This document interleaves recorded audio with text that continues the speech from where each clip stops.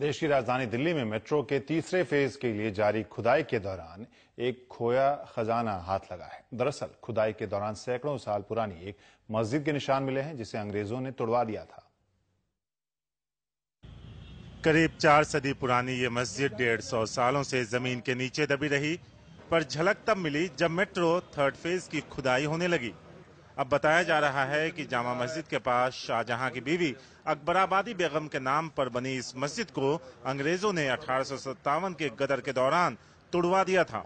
हम चाहते हैं कि मस्जिद भी आबाद रहे और मेट्रो भी आबाद रहे। दोनों जनता के लिए पब्लिक के लिए ये अपना काम आएगी। दरअसल दरियागंज में जहाँ मस्जिद की दीवार निकली है वहाँ सुभाष पार्क मेट्रो स्टेशन बनना है।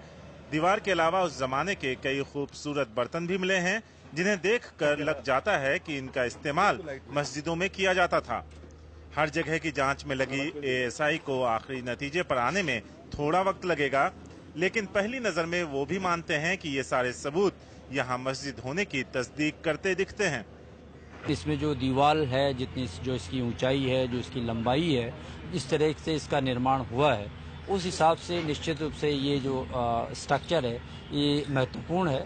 जैसे ही राजधानी में सदियों पुरानी मस्जिद मिलने की खबर फैली दूर दूर से लोग देखने आने लगे। ये परिवार गाजियाबाद से आया है। हमें पता चला गाजियाबाद की ऐसे जामा मस्जिद में नीचे खुदाई तो मस्जिद निकली तो हम देखने चले आए।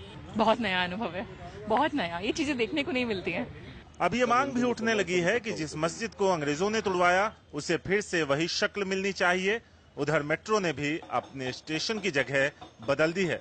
एएसआई ने कहा है कि वो इस बात की जाँच करेगी लेकिन जामा मस्जिद के इलाके की बात करें या फिर इसके आसपास रहने वाले लोगों की बात करें तो उनमें खासा उत्साह है और वो चाहते हैं कि जो मस्जिद अठारह सौ सत्तावन में अंग्रेज़ों ने गिराई थी उसकी तामीर फिर से की जाए।